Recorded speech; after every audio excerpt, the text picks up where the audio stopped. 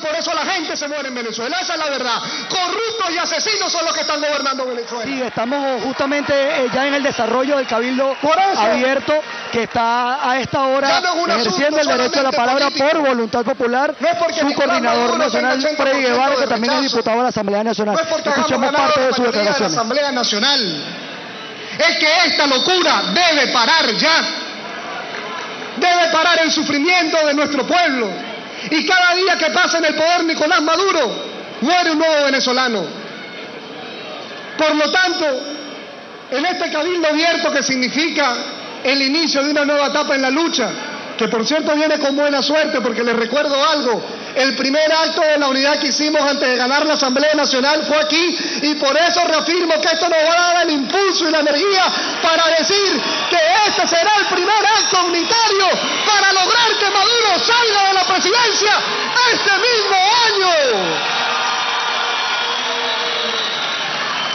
Para lograrlo es muy importante que nosotros avancemos en muchas líneas de acción. Una de ellas es esta, los cabildos, las asambleas, que tienen el objetivo fundamental de que todos estemos informados y podamos replicar el mensaje. Que nadie se vuelva a confundir cuando digan, miren, salieron las planillas, no salieron las planillas, sino que estemos todos al tanto de que la unidad será quien estará anunciando cada vez que vayamos avanzando en cada uno de ellos. Por este tipo de acciones que son nuestros cabildos con nuestros principales movilizadores, activistas, también tiene que salir a buscar a la gente que no puede estar acá porque está haciendo cola, o la gente que no está acá porque aún tiene miedo. Y esa es la labor que les pedimos también que se complementan ustedes en movilizadores, que ayuden a contactar a todos los que hacen falta, porque para lograr este cambio político vamos a requerir un esquema organizativo muy importante. Pero el centro de mi mensaje quiere estar en el tercer elemento.